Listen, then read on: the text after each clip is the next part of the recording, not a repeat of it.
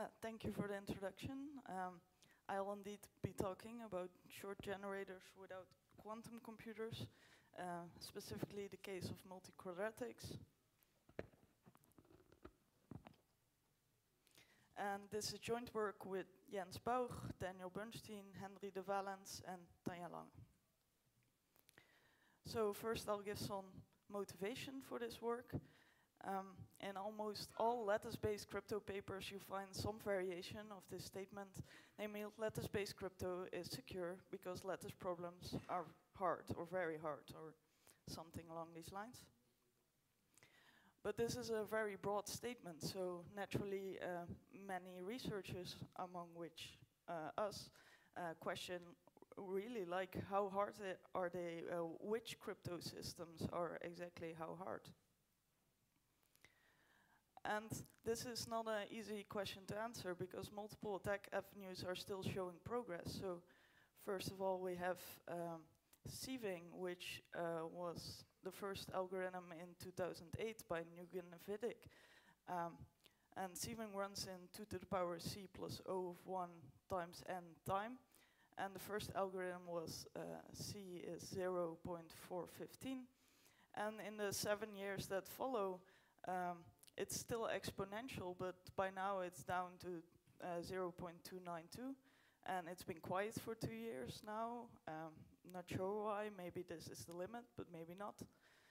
Um, and quantumly, you can improve this exponent even more.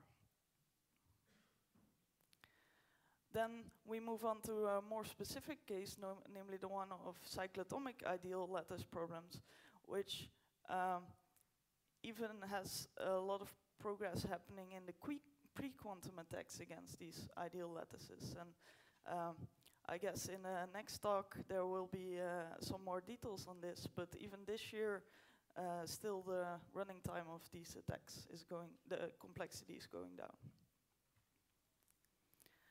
Then quantum attacks against uh, these specific type of ideal lattice problems are showing even more recently a lot of progress. So in 2015, Biasse and Song uh, using a work by Campbell, Groves, and Shepherd, showed there's actually a polynomial time quantum algorithm against these cyclotomic ideals if they were using short generators. And in 2016, um, Cramer, Ducas, Peikert, and Regev gave a general uh, analysis that actually showed that this works for arbitrary principal ideals. And in a later work by Cramer, Ducas, and Wesolowski, um, shows that you can even generalize this to any ideal. So again, here we see a lot of progress in attacking um, cyclotomic ideal-based lattice problems. So there is a probability that this last slide convinced you that using cyclotomics in your crypto is actually scary because a lot of progress are, is being made. This is not necessarily a true thing, but um, there are alternatives. Namely, the first of, one, of all, you can use LWE instead of ring LWE, so just remove the, the lattice structure from your, or sorry, the ideal structure from your crypto, um, which removes these problems, but uh, the key size does go up for the same security. Another option is um, to use a different ring to build your crypto over. Uh, so in NTRU Prime by uh, Bernstein, Chuengsatiansup, Lange, and myself, uh, we propose to use uh, um, the field modulo x to the power p minus x minus 1, which uh, doesn't have all these ring morphisms that uh, could be scary, and it is prime degree and has a large Galois group, so it's um, uh, it's a, different field to try. But instead, this talk, uh, we investigate a specific case of switching from cyclotomic fields to multi-quadratic number fields, which is also a specific type of field um, which is seen a lot in uh, textbooks because uh, it's a very easy field to analyze. There's a lot known about this, and it always looks like this. So Q adjoined with some square root of primes. So uh, as a case study, we found a reasonable cryptographic system that can use multi-quadratics, uh, which was posed in 2010 by Smart and Vercauteren, uh, which was based on a work by Craig Gentry. And it works as follows. As a parameter, it has the ring Z joint alpha for some algebraic integer alpha. The secret key is some very short element of this ring where short is dependent on, uh, on norms.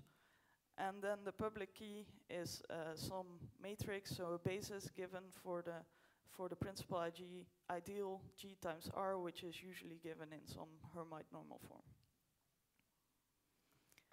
And then in Smart Vercauteren, it was already shown that if you take n in the order of L squared, then you get the target security of 2 to the power lambda against standard lattice attack. So this should hold up against an attack like BKZ uh, to fi not find the short generator G.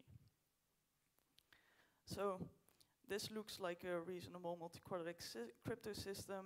Uh, it holds up exponential time against attack. Um, and now I will dedicate the rest of this talk to trying to tell you why it's a massively bad idea to do this. And first, we need some math for this, which I will go through rather quickly. So we need a number field L, and we uh, call its degree the dimension when looked upon it as a finite Q factor space. Uh, the ring of integers of L we denote by OL, which is uh, um, the set of algebraic integers of L, and the inver invertible elements of this ring of integer uh, we call the unit group and we denote that by OL times. And then in this setting, uh, the security of this crypto system lies in the following problem, namely, given this public basis for GOL, OL, recover the small g from the ring of integers. And we do this specifically in a multi-quadratic field, um, and for this talk, we define a multi-quadratic field as Q adjoined by n uh, square roots of primes, distinct primes, uh, such that the degree of the field is 2 to the power n, where n is this number of primes. So this is not a new problem. Many people have looked at this, and uh, the recovery strategy uh, is in like two and a half steps. So first is to um, compute the unit group OL times, which is uh, easy for cyclotomics, but generally for number fields this is actually quite hard. Then the second step is to find some generator U times G of this principal ideal. Um, an algorithm for this was given already by Buchmann in 1990, which was a sub-exponential time algorithm. Um, um, where on this algorithm there's been improvement in 2014 by Biasse and Biasse-Fieker, but still sub-exponential. Uh, and there's a quantum polytime algorithm for this, which uh, I already mentioned before. And then the second step is to actually recover G from UG, and you do this by some special lattice, which I'll talk about a bit more in the next uh, slide.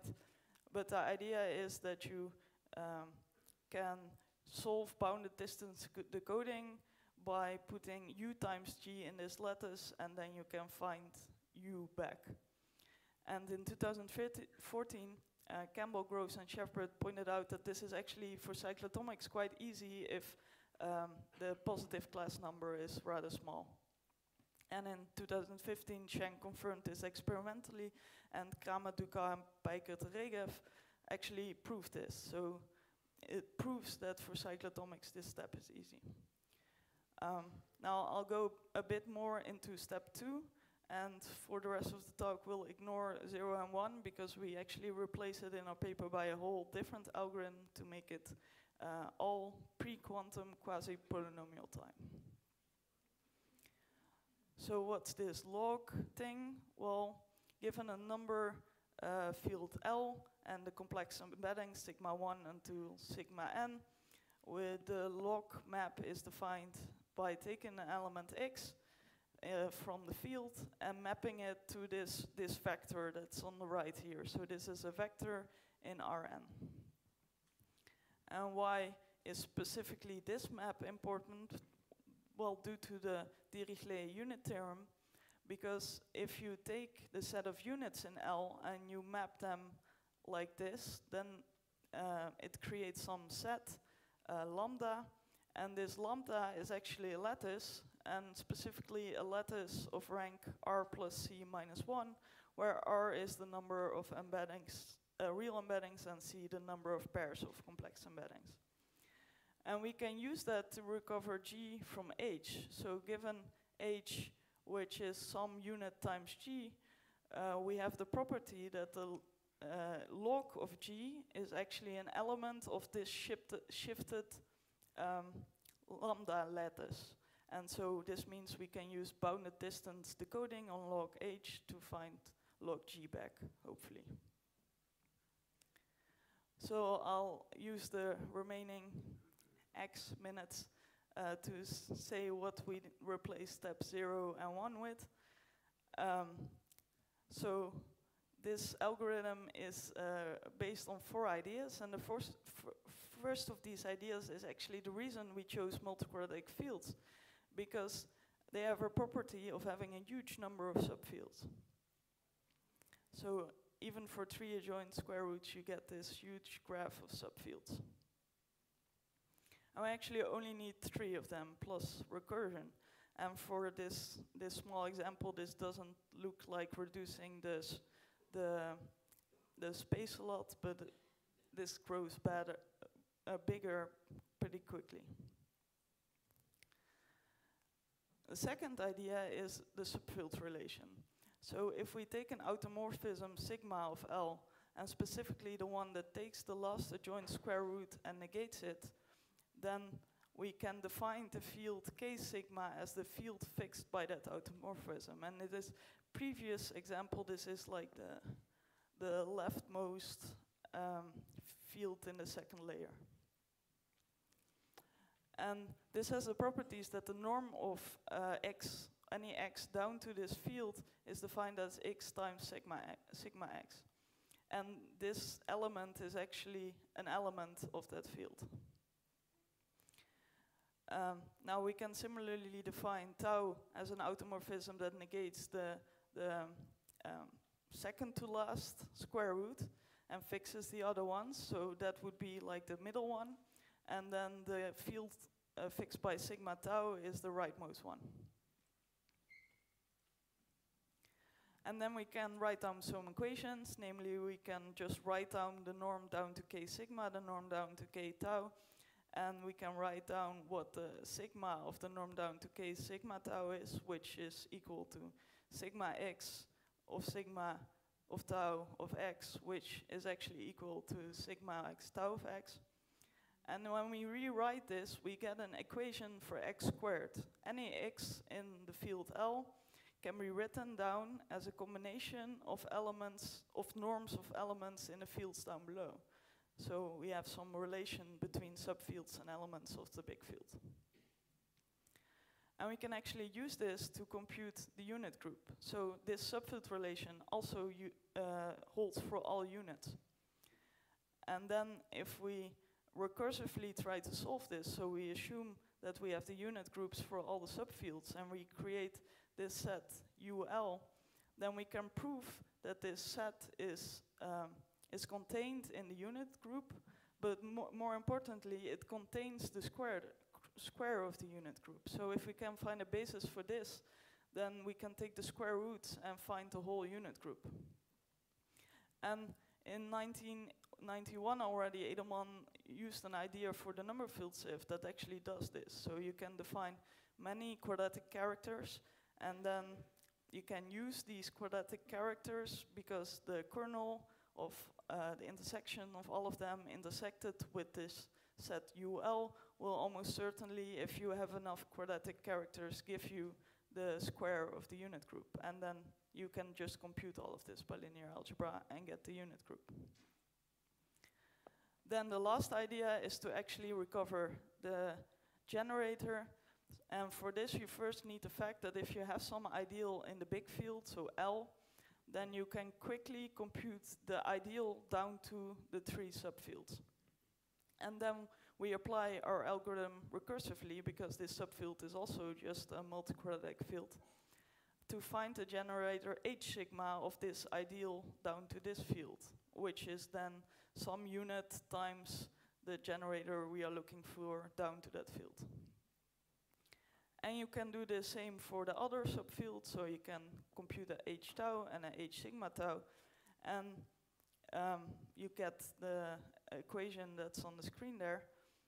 And by the subfield relation, this h that you are computing is actually some unit times g square. So you recursively computed some h, which is a generator of the group, not a small one yet, but um, you have a generator. Um, you could almost just take a square root, but this unit is, uh, is being in the way.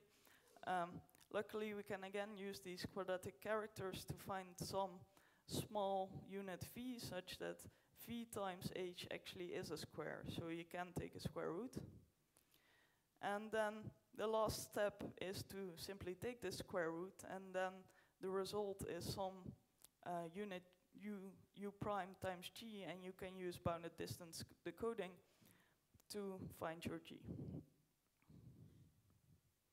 So this results in the, this algorithm, which I won't go into.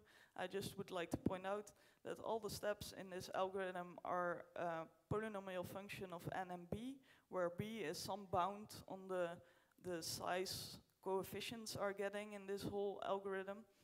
And this b uh, is quasi-polynomial in the cases we studied. So this whole algorithm is actually quasi-polynomial, where for um, other fields pre-quantumly it was sub-exponential. Then this is nice, but uh, we actually implemented this to show that it works. So in the first two columns, we see um, unit group computations in SAGE for a towered number field and absolute number field. And then in the third column, we see our unit group computation for this same field. And we see that where uh, Sage stopped working for dimension 64, ours is actually uh, still quite feasible for that uh, for dimension that dimension and much higher. Um, in Nu 2, we took a slightly larger multiquadratic field, so the adjoint primes are the first n above n squared, and the times go up, but still it's much better than what Sage used to have. And uh, then in the last two columns, after the unit group computation, it turns out that the actual attack, so re recovering the generator G, uh, is kind of easy, comparatively. Um, then that it's fast, it's, nice, but is it actually work, which is also important. Um, so as it turns out that if you take the multiquadratic fields of the first primes after one, um, then the probability of success actually decreases um, as n grows. But if you take your primes slightly larger, so for instance, uh, the first n primes after n, or the first n primes after n squared, and then this probably converges towards one and the attack always works. Are there any questions?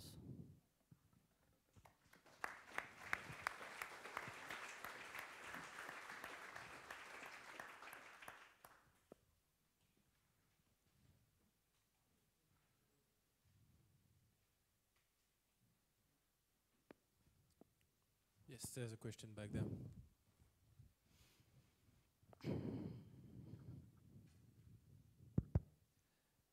Uh, what are the discriminants of the fields that you, uh, for which you calculate in, the unit group?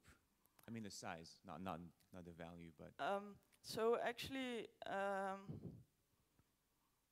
like uh, to keep this uh, lowest recursion field small, you have to keep the discriminant of the um, of the quadratic field small. And you can compute that, that this all remains quasi-polynomial if you take the, the adjoint square roots below uh, n to the power fifth for sure or something, even after that. So they're quite big, uh, but that remains quasi-polynomial, so that uh, computing a unit in a quadratic field, which is like discriminant to the power half or something, uh, is still quasi-polynomial. Another question. Sorry, um, and I'm giving up the microphone. Uh, what's the when you say the probability of success? Which which step fails? Uh, Uh, so the G recover is actually not your G, it's a G uh, multiplied by some unit.